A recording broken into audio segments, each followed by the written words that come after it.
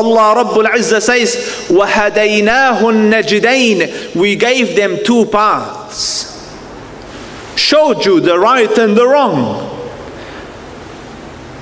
And from the two, he told you which one is good. إنا هديناه السبيل إما شاكرا وإما كفورا Verily we showed him the path. It is for him to accept it or reject it, to be grateful or ingrateful, to accept or deny. And for those who accept it and follow it, they will be in the most darkest place in life, and Allah puts peace and sakina over them.